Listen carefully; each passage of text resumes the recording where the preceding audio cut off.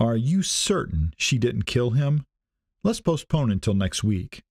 I scraped several cinnamon roll crumbs off the coffee table, concerned the feisty secretary would bestow her trademark death look upon me again.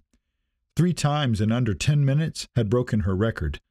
Papa, squat and settle that keister, Kellan. Your incessant pacing has inflamed my arthritis. President Power will oust Kane Endicott in a jiffy. Prior to stomping toward the door, Ursula's dictatorial and ornery assistant switched off her Victorian lamp and locked her vintage mirrored desk.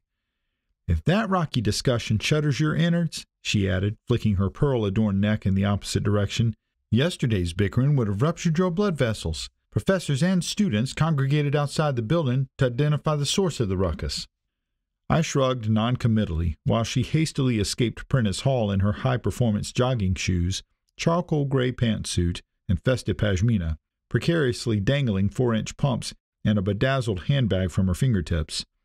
A terse mention of her husband purchasing almost impossible to locate theater tickets for that night accompanied her plummy voice. Attending a hot new musical sounded way more appetizing than performing my imminent song and dance routine. After tossing the dirty napkin into the trash bin, I tiptoed closer to Ursula's door to listen for any death blows signaling the end of their argument. I wasn't normally prone to eavesdropping, but snooping occasionally happened when something important. Okay, yes, it was true. I listened to other people's conversations ad nauseum.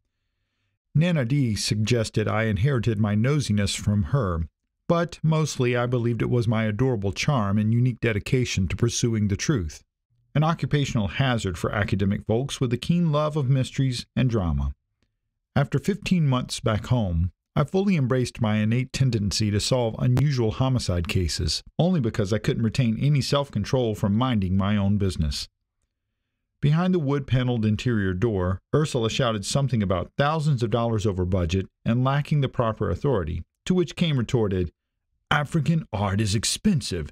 Did you honestly think I would be the laughing stock of all the institutions in our immediate academic circle? Come on, President Power. This is unnecessary. Surely you'd agree I am capable of. His voice dropped too low, so I pressed my five foot nine frame against the door to overhear the remaining conversation. As Ursula responded, the outer door from the main hallway blasted open, and Dean Fern Terry raced inside like a galloping giraffe. A single drop of sweat trailed the center of her creased forehead.